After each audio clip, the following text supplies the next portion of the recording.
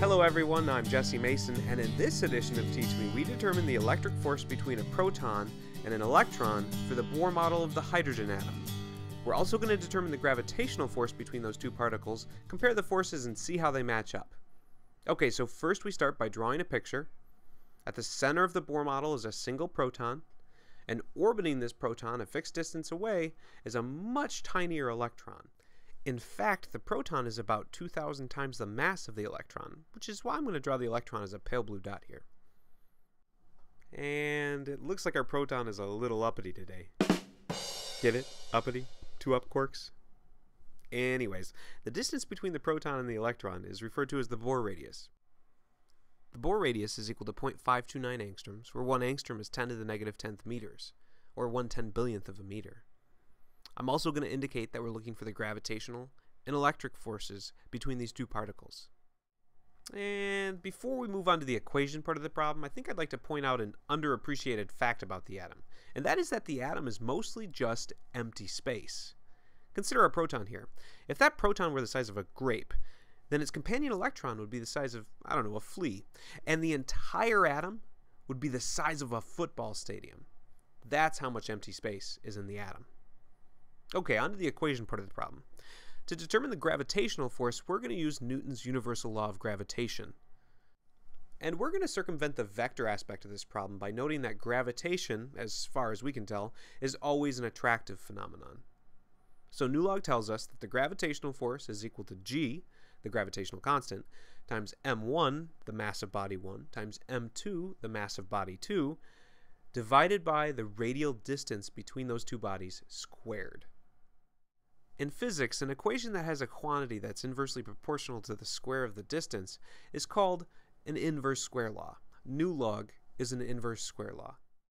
So, gathering our constants from a reliable source, like a ridiculously expensive textbook or Wikipedia, whichever you prefer, we have gravitational force is equal to 6.673 times 10 to the negative 11th newton meters squared per kilogram squared times the mass of a proton 1.673 times 10 to the negative 27th kilograms times the mass of an electron, 9.11 times 10 to the negative 31st kilograms, divided by the Bohr radius, 0.529 times 10 to the negative 10th meters squared. Plugging this into a trusty TI-83 Plus, I get the gravitational force is equal to 3.63 times 10 to the negative 47th newtons.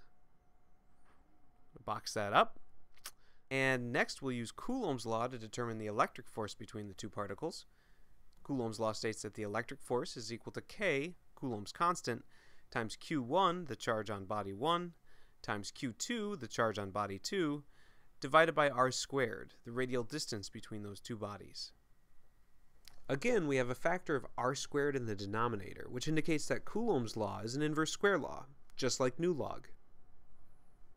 Okay, so we have Fe is equal to 8.99 times 10 to the ninth, that's a positive 9, Newton meters squared per coulomb squared, times the charge of a proton, 1.602 times 10 to the negative 19th coulombs, times the charge of an electron, negative that same value, divided by 0.529 times 10 to the negative 10th meters squared.